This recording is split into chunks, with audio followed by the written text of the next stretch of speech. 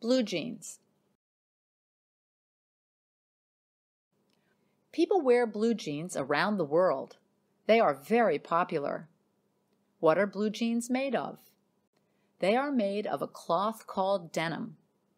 But that cloth is made from cotton. Cotton is grown on farms around the world. This cotton is made into yarn. Then the yarn is woven together. That makes the cloth. Cotton is not blue to begin with. So why are blue jeans blue? Because they are dyed. People soak the cotton yarn in dye. The dye is blue. So the yarn turns blue too.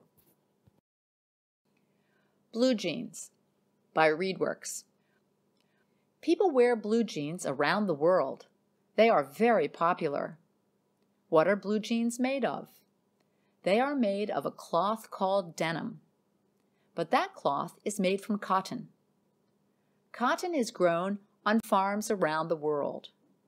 This cotton is made into yarn. Then the yarn is woven together. That makes the cloth. Cotton is not blue to begin with. So why are blue jeans blue? Because they are dyed. People soak the cotton yarn in dye. The dye is blue. So the yarn turns blue too.